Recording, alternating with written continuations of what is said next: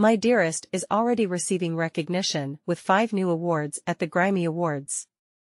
The 2023 Grimae Awards took place on November 22. Created in 1993 by the Korean Directors of Photography Society, KDPS, the Grimae Awards recognizes film directors who have pursued excellent and experimental cinematography in projects produced by each broadcasting company over the past year and actors who showed great performances as voted by directors.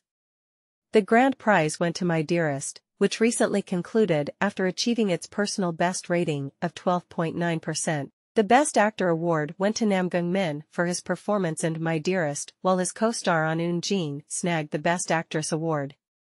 Namgoong Min thanked the production team, sharing, I think it's been around 24 years since I've been standing in front of the camera.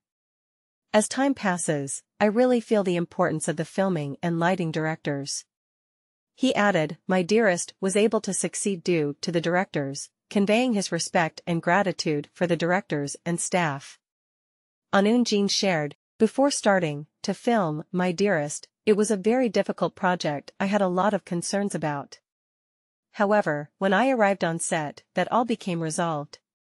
I filmed while relying on the directors as well as all the staff on set.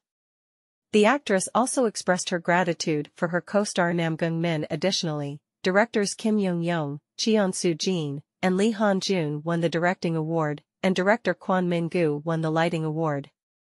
Congratulations to the cast and crew of My Dearest.